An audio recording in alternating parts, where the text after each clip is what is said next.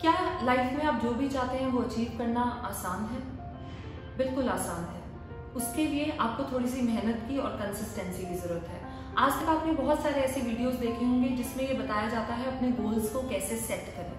पर जब आपने अपना गोल सेट कर लिया और आपने ये डिसाइड कर लिया कि मुझे अपनी लाइफ में ये अचीव करना है तो आपने उन गोल्स को अचीव कैसे करना है और आपको लाइफ से जो भी चाहिए, वो कैसे आपको मिलेगा, उसके लिए मैं आपको बहुत सिंपल ट्रिक्स बताने वाली हूँ। इन ट्रिक्स के पीछे साइंस भी इन्वॉल्व है और मेरे पर्सनल एक्सपीरियंसेस भी हैं, जिसके बेसिस पर मैंने अपने गोल्स को अचीव किया है। So these tricks I am going to share with you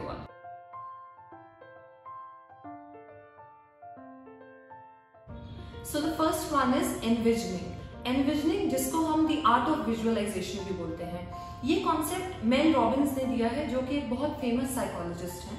उनका ये कहना है कि हमारे ब्रेन में कुछ न्यूरॉन्स होते हैं, जो हमारे ब्रेन से एक पर्टिकुलर टाइप ऑफ़ इंफॉर्मेशन को फ़िल्टर आउट करते हैं। मैं आपको बताती हूँ ये काम कैसे करता है। अगर किसी दिन मॉर्निंग में उठकर मुझे ऐसा लगता है कि आज मेरे साथ कुछ बुरा हुआ है तो मैंने अपनी ब्रेन की प्रोग्रामिंग ऐसे कर ली है कि आज का दिन मेरा खराब है और आज सारा कुछ खराब ही होने वाला है। तो मेरी ब्रेन की प्रोग्रामिंग इस वे में हो गई है कि जो नेगेटिव थॉट्स हैं वो मेरे ब्रेन में आएँगे और पॉजिटिव थॉट्स मेरे ब्रेन में नहीं आएँगे। So the art of visualization आपको क्या बताता है? वो ये बताता है कि रोज सुबह उठकर अपने गोल को लेकर पॉजिटिव सोचे। मतलब अपनी लाइफ को इमेजिन करें कि जो गोल मैंने सेट किया है, जब मैं उस गोल को अचीव कर लूँगी तो मेरी लाइफ कैसी होगी? मैं खुश होंगी? मैं कॉन्फिडेंट होंगी? मैं क्या क्या कर रही होंगी? वो सारा कुछ विजुअलाइज करें। जब आप रोज रोज एक सेम चीज़ को विजुअलाइज करेंगे एक्चुअली आपकी लाइफ में होनी शुरू हो जाएगी जिसको हम लॉ ऑफ़ अट्रैक्शन भी बोलते हैं। लॉ ऑफ़ अट्रैक्शन ये बताता है कि हम जो भी बोलते हैं या जो भी बार बार करते हैं वैसी सिमिलर एनर्जीज को सिमिलर पॉजिटिव चीज़ों को हम अपनी तरफ़ अट्रैक्ट करते हैं। तो अगर आप रोज अच्छा सोचेंगे तो आपके साथ अच्छा ही होगा।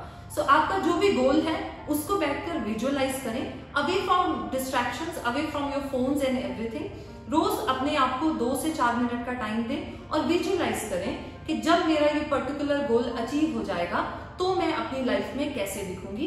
अपनी आँखें बंद करें, उसको विजुअलाइज करें and it is going to happen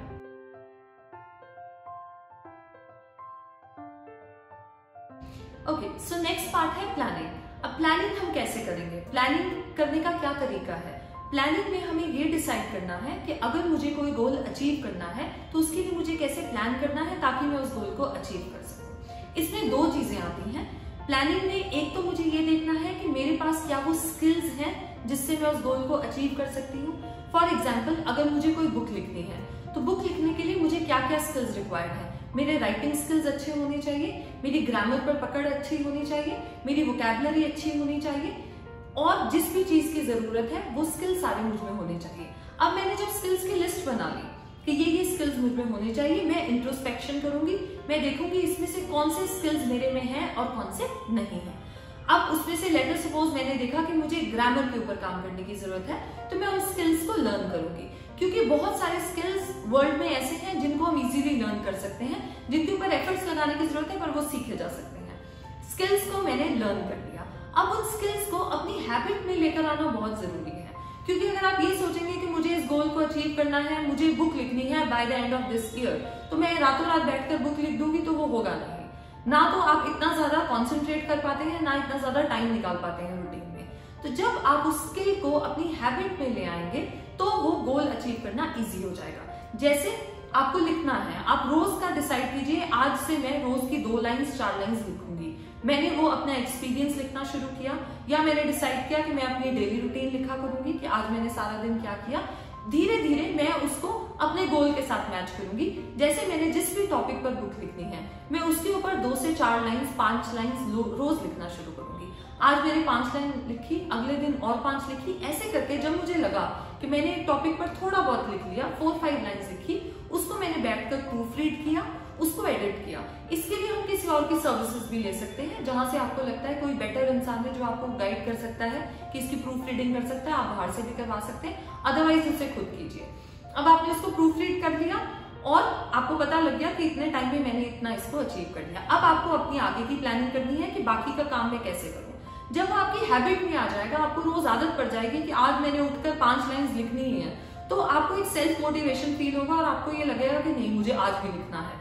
इससे आपका जो गोल है वो इजीली अचीवेबल हो जाता है।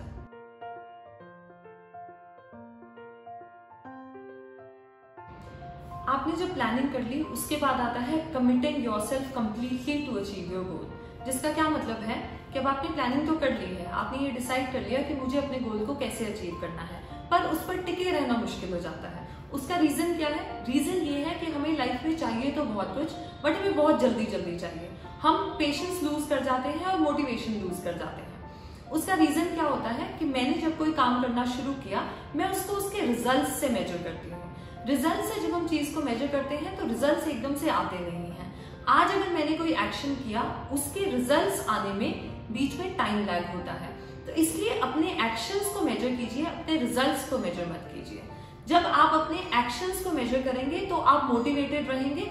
आप कल और आज में जब अपने आप में इम्प्रूवमेंट देखेंगे कि कल मैंने ये किया था, आज मैं उससे बेटर ये कर रही हूँ तो आपको सेल्फ मोटिवेशन मिलेगी, जिससे आप उस काम पे टिके रहेंगे और उसे बार बार करते रहेंगे। तो इसलिए committing yourself to your goal is very very important if you like this video just hit the like button also you can ask any question in the comment below and don't forget to subscribe my channel